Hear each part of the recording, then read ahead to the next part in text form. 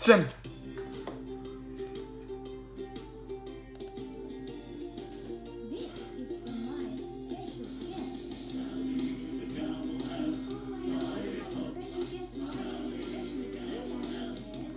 But I like it.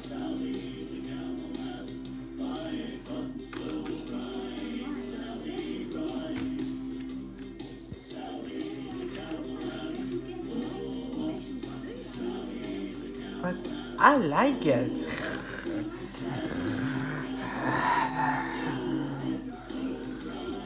There we go.